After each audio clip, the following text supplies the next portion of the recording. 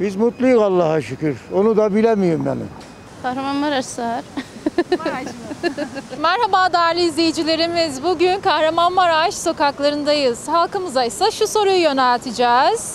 Türkiye'nin en mutsuz şehri sizce hangisi? Bakalım cevapları neler olacak? Hep birlikte görelim.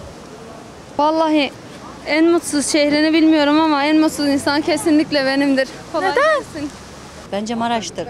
Neden? İnsanlarından kaynaklı ya. Ben öyle düşünüyorum. Ben burada değilim aslında. Aslında burada gelinim ama ben Hataylıyım. Merkez e, Hatay'da oturuyoruz biz normalde ama 20 yıldır buradayım ama bence Maraş'tır. İnsanlar mı çok mutsuz? İnsanları, Yoksa geçimden mi? e, geçimle alakalı insanları da yani insanların birbirine karşı tahammülleri yok fazla.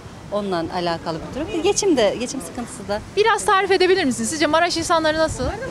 Ya kimsenin kimseye tahammülü yok. Herkes e, ırkçılık yönünde birbirine e, şeyi var. Yani eleştirisi var. Yani şu, şu kıyafet olsun, ırkçılık olsun birbirine sürekli eleştirdikleri olduğu için. Kıskançlık mı? E, biraz. Oo. Kimsenin kimseye tahammülü yok yani. Herkes herkesi eleştirebiliyor istediği gibi. Şimdi e, bir Hataylı olarak Hatay'da e, kız kardeşimdir. Hatay'da öyle bir şeyimiz yok bizim. Yani herkes özgür, herkes e, her dinden, her milletten insan yaşayabiliyor yani. O yüzden. Hataylıyım. Sa- Sadece asgari ücret dışına kesinlikle çıkmıyorlar ve asgari ücret yetmiyor. Onu söyleyeyim. Bir de dört yolun belediye başkanı hiç görevini yapmıyor. Çok susuzluk çekiyoruz. Buradan belediye başkanına da duyuralım o zaman. evet. Hatay dört yol belediye başkanı. Eğer Lütfü Savaş duyarsa çok sevinirim. En mutsuz şehri ya aslında yani genel olarak cevaplarsak pek mutlu yeri yoktur herhalde. Yani şu an herkese sorarsa aynı cevabı verir zaten. Bir de Türkiye'de zaten parasal yani her şey. Artık ne bileyim yani öyle ya. Aslında konuşacak çok şey var da konuşamıyoruz yani. Konuşabilirsiniz. Yok gerek yok. Kahramanmaraş. Neden? Kahramanmaraş geçmiş tarihine bakılarak yaşanılan tarihin bilgisine göre kendi değerlerinin e, içerisinde yaşamayı seçtiği gibi değerlerinin içerisine bir şey katarak, değer katarak gelişime ayak uydurmakta geç kalmış bir şehir. Yani bu eski medeniyetlerden bahsedersek Maraş'ta birçok medeniyet yaşamış. Bunlardan önemlisi Hititler. Biliyorsunuz o aslan e, heykelimizden tutun da ona benzer birçok tarihi e, kaynakları olan bir yer.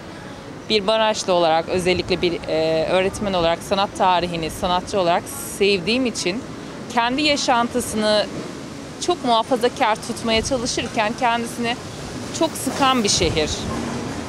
İstanbul'da yaşıyordum, İstanbul'da çalışıyordum. Pandemi döneminden dolayı işsiz kaldım bir öğretmen olarak. Buraya tekrar geldiğimde yeniden bir şeyler acaba bir ihtimal yapabilir miyim diye bakıyorum kendim adına. Kendim adıma konuşuyorum, toplum olarak değil.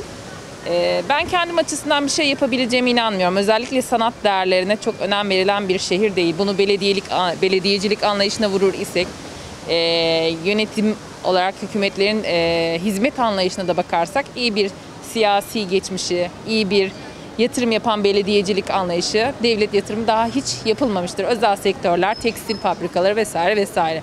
Bunun dışına hiç çıkamadık biz. Sadece bu cadde düzenlenilir. Bir üst cadde, Binevler Caddesi var bizde. Alışveriş kültürü, bir piyasa kültürü var bizde.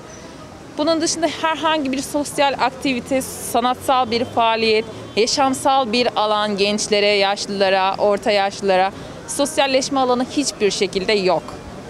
Nasıl sıkılmasın ki en mutsuz şehir olmasın ki bir genç olarak ben bunu diyor isem gelecek nesiller için ne verebiliyor bu şehir bana? Tamam çok güzel bir doğaya sahibiz. Çok güzel e, esnaf ilişkileri olan bir şehir. Bunu bir tık veya iki tık, üç tık öteye kaç yıldan beri götürebilmişiz. Yani bu yüzden bana göre en mutsuz şehir, en mutsuz insanlarından biri de ben olduğum için kaçan bir eğitimciyim bu şehirden.